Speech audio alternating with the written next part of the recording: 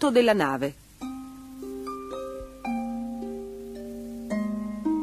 Mentre trotterellava lungo la strada polverosa, Gobbolino si chiedeva quali nuove avventure lo aspettassero. Da piccolo era stato il gatto di una strega. Appena ieri era un gatto di casa e ora gli toccava cercarsi una nuova sistemazione. Verso sera giunse a una città piena di traffico. Le luci delle finestre sembravano ammiccanti occhi gialli. In quasi tutte le case un bel fuoco scoppiettava nel camino e dozzine di gatti ben pasciuti sonnecchiavano sotto le seggiole. Ma Gobbolino non era di nessuno e nessuno era di Gobbolino saltò su un davanzale e curiosò dentro.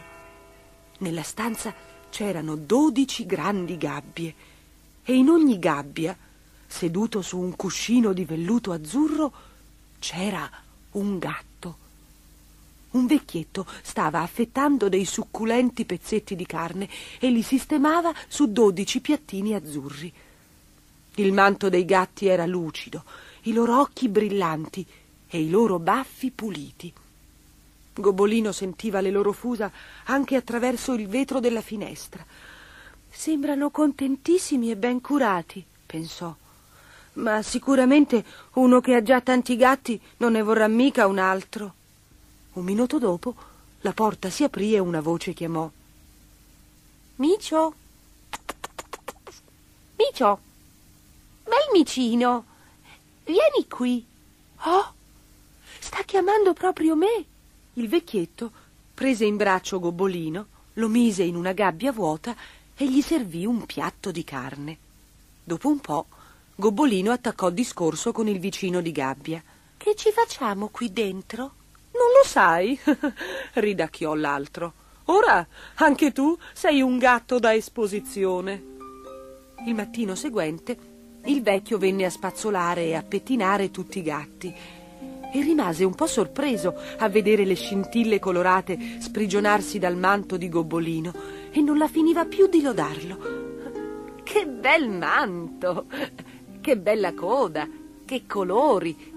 E che splendidi occhi azzurri! Gli altri gatti cominciarono a brontolare. Oh, sono gelosi, disse il vecchio mentre gli annodava un fiocco rosso al collo. Cos'è tutta questa agitazione? Chiese Gobolino al suo vicino. Non lo sai? disse l'altro con degnazione. Domani è il giorno dell'esposizione dei gatti e noi ci andiamo. Prima ancora di arrivare là, Gobolino udiva miagolare centinaia di gatti da esposizione. Grossi, piccoli, neri, bianchi, soriani, persiani, gatti grassi, magri, gatti belli e gatti brutti. E in più tutti i gatti del vecchietto e con loro Gobbolino, il gatto della strega, dai bellissimi occhi blu. Gli altri gatti cominciarono a mormorare. Ma chi è quel gatto strano? L'anno scorso non c'era. No, non c'era. È uno nuovo. Per dirti la verità, anche se Gobbolino non riusciva a sentire cosa dicevano, una specie di mormorio circolava fra le gabbie. Copolino, Copolino, Copolino. I giudici passarono a esaminare tutti i gatti per scegliere quelli che avrebbero partecipato all'elezione finale. Il vecchio trotterellava da una gabbia all'altra, carezzando i prescelti, promettendo loro un sacco di leccornie per cena. Poi il giudice in capo si alzò solennemente in piedi per proclamare il miglior gatto della mostra. Era Gobbolino. Ci fu un momento di silenzio poi un brusio, poi un soffiare irato e infine un urlio, finché un urlo solo si alzò da ogni gabbia.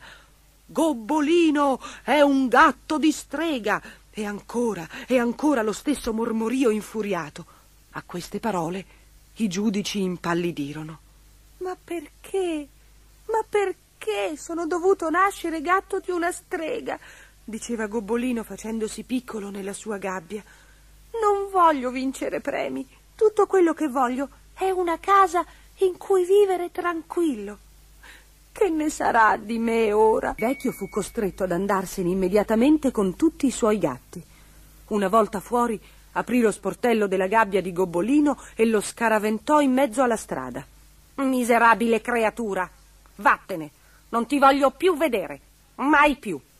Ammucchiò tutte le gabbie sul suo carretto e se ne andò, frustando il suo magro ronzino. Gobbolino non si rattristò quando vide che si allontanava.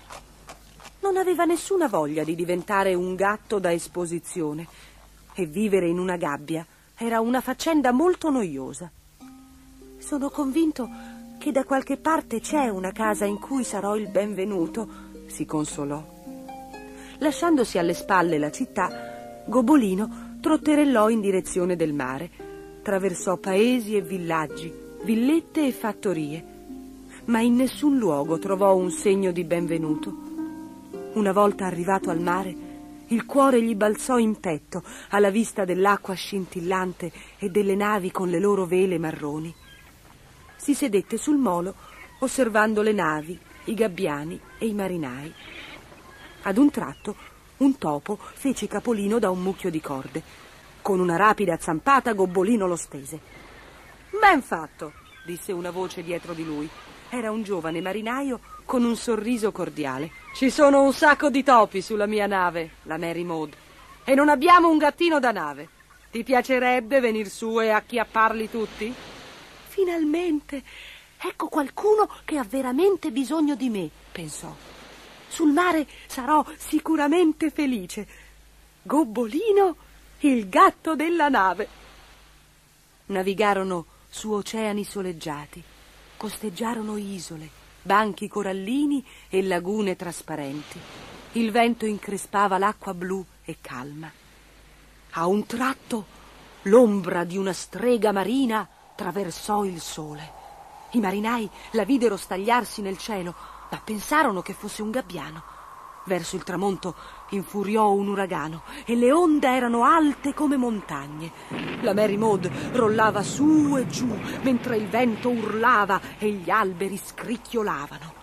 Due volte Gobbolino venne messo in salvo mentre stava per venire trascinato via dall'acqua. Con l'avanzare della notte la tempesta divenne più violenta. Oh, ma non finirà dunque mai, pensava Gobbolino, sballottato da una parte all'altra.